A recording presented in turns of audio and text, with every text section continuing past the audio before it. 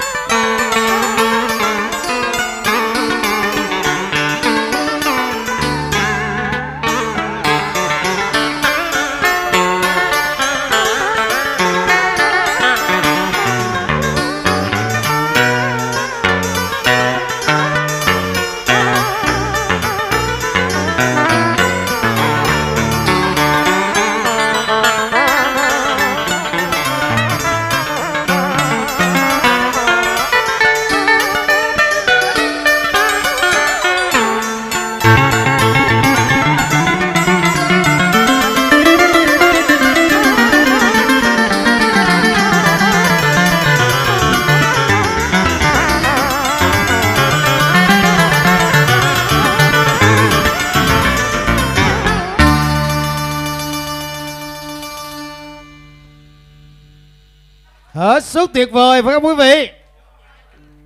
Bây giờ đại ơi anh tài giới thiệu có lẽ là khán giả cho có người tin người không? Bây giờ anh muốn em tự giới thiệu em tên gì bao nhiêu tuổi và em là học trò của ai? Dạ, à, em xin tự giới thiệu em tên là Nguyễn Quốc Đại à, Học trò của thầy Văn Hải. Dạ, năm nay em 23 tuổi. Rồi kế tiếp là nhạc sĩ đần sến em cũng tự giới thiệu về mình để cho khán giả gần xa biết để Dạ em tên Hảo. Em 30 tuổi. Em học trò của sư phụ Văn Hải. Đó quý vị tin chưa? À, có một điều đặc biệt hơn nữa là nhạc sĩ văn hảo vừa xuất sắc đạt được ngôi vị ngón đàn vàng do sư phụ cùng với những danh cầm tổ chức thực hiện cuộc thi ngón đàn vàng thưa quý vị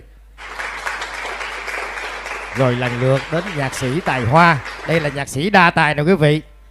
Anh chơi được rất nhiều nhạc cụ thưa quý vị. Đây. Nói luôn đi hòa ơi. À, em ờ, tên Hữu Hòa 43 tuổi ờ, đệ tử của danh cầm ờ, Văn Hải. Hết sức tuyệt vời không quý vị? Không chỉ là ba nhạc sĩ này là đệ tử trong đêm nay rất là nhiều và trong những đêm qua nữa quý vị nếu nói về đệ tử của thầy Văn Hải thì rất nhiều nhiều thế hệ lắm quý vị. Có những người bây giờ là, là thầy là sư phụ luôn mở lớp dạy riêng luôn quý vị. Cũng đều là đệ tử của sư phụ Văn Hải.